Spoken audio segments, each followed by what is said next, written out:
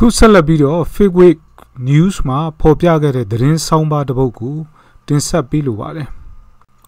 နိုင်ငံတော်အစိုးရပေါ်ကြီးညိုပြက်စီမှုပုံမှန်နဲ့အမှုဖွင့်ခံထားရတဲ့မိုက်ကယ်ကျော်မြင့်ဟာပြည်သူများကတိုင်းပြပြည်ပြမော်ကွန်းကြောက်စာတိုင်ဟာ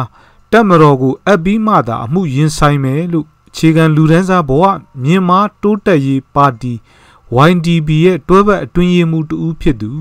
ဒေါ်မိုးမိုးခိုင်က ပြောပါတယ်မိုက်ကယ်ကျော်မြင့်ကအတိုင်းတာတစ်ခုတော့ရှိတာပေါ့နော်သူဟာသူရှောင်နေတာပေါ့ညီမတို့တိုင်းပြည်အတွက်အရေးကြီးတဲ့ဒီအထိမ့်မှတ်ကြောက်တိုင်ကြီးကိုတက်မတော်ကာကွယ်ရေးဦးစီးချုပ်ရုံးကိုအပ်ပြီးတာနဲ့ပြည်သူတွေကနေအပ်မှာလေဒီပွဲကအပ်ပြီးတာနဲ့ညီမတို့ကအမှုရင်ဆိုင်မှာပါလို့ဒေါ်မမိုးခိုင်ကဆိုပါတယ်ခြေခံလူဒန်းစားဘဝမြန်မာတိုးတက်ရေးပါတီ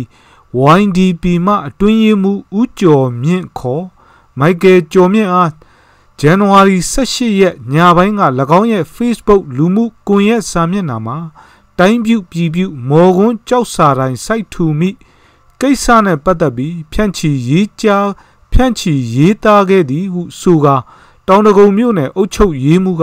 နိုင်ငံတော်အကြီးအကျယ်ပြက်စီမှုပုံမှန်124ကာကြီးနဲ့ ဇန်နဝါရီ19ရက်က အမှုဖွင့်ထားကြောင်းသိရပါတယ်။မိုက်ကယ်ကျော်မြင့်ဟာကြောက်တရားမြို့နယ်ရဲတပ်ဖွဲ့မှုကပြီးခဲ့တဲ့ဇန်နဝါရီ12ရက်ကငိမ့်စုစီပုံမှ19ဖြင့်တရားစွဲဆိုထားမှုများရှိခဲ့ပြီး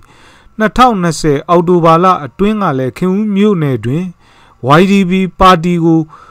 YDB ပါတီကိုယ်စားလှယ်လောင်းစီးလာတဲ့ကားများ